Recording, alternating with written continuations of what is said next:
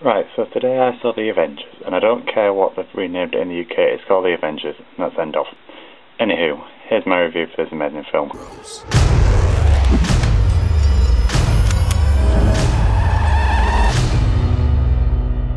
So this film was directed by Joss Whedon, who also directed Buffy the Vampire Slayer, which I liked, and Cabin in the Woods, which I liked. My reviews up on the channel if you want to watch it. I went into this film with such high expectations due to me reviewing all the, the other films for you. It got me into the spirit of the Avengers, and I can tell you, this film does not disappoint. I don't think there's anyone in the world now that doesn't know that this is the um, Marvel crossover team type thing, and I'm going to try and name them all now and do the play.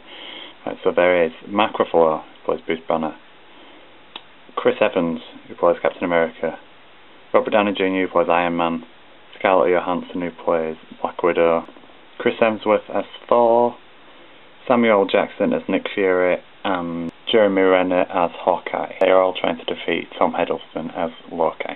And I am so glad to say there is not a weak link in this film. Chris Evans has owned his part as Captain America and improved it since his own film, which was shit. And I'm glad to say Mark Ruffalo is amazing as Bruce Banner. He comes across even smarter than Edward Norton was, because I was a bit sceptical about Mark Ruffalo in this film because he wasn't in the prequel and stuff like that, and I thought that Marvel had gone in the wrong direction, but I'm going to now trust Marvel because it was an amazing direction, and I believe him more than I believed Edward Norton in The Incredible Hulk. CGI of the Hulk has also improved from The Incredible Hulk, which granted we do have more technology now, since it's four years down the line from when The Incredible Hulk came out.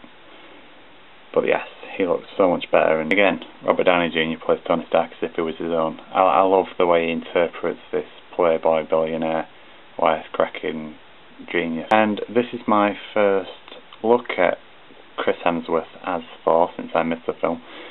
And he's a really good actor, which I knew from Cabin in the Woods, but he plays Thor really well. I like the way that he sounds like the god. Kind of the bare minimum if you want to be Thor, but did a very good job of it. He also acts as he's above everyone else, which I liked because he's meant to be the god, and you won't act as if you're the same as the mere mortals, so I liked that. And then there's three agents, there's um, Black Widow, Hawkeye, and Nick Fury. And these are just badass portrayals, they are so cool, you don't know what they're going to do next. And I've also been told to include Scarlett Johansson is fit, so go see the film. Then there's Tom Hiddleston as Loki, and this guy was born to be a, be a villain. He is amazing. He plays the god of mis mischief, just how I imagined him. Because I can't talk about how he was in Thor because I didn't see it, which I was a bit miffed off about, really. Now, the only thing I can find wrong about this film is that when we came out, my girlfriend says to me that there were some references that she didn't understand and it ruined a tiny bit of the film for her. So, if I were you, I'd push your boat out and get all these films for about 20 quid before you go see the Avengers because they're really good films and gives you in, more insight to the characters than if you want to watch them.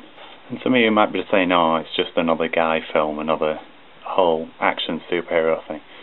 But there are quite a lot of jokes in it. In fact, I could take it for an action comedy at times. But um, all these jokes and wisecracks, they all land, I am glad to say, and they are hilarious. My favourite part of this film is it shows that the Avengers didn't get along straight away and they did have the disagreements and they did fight for them. And I liked that because if it were just magically they were all friends and stuff like that, I'd have been a bit disappointed because that never happened. This film is a hefty 144 minutes long and it was cut down from 3 or 4 hours. So I was looking for plot holes and I've got to say I can't find any from when it's cut it down, which I'm very glad about and I hope they do include the four or three hour version on the Blu-ray because it'd be nice to see what he's had to cut out and see how good it'd fit in.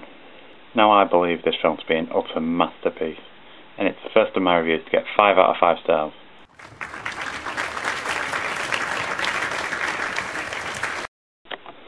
And so subscribe up here and come back every Monday when I'm putting a new review up and thank you for watching. We have a Hulk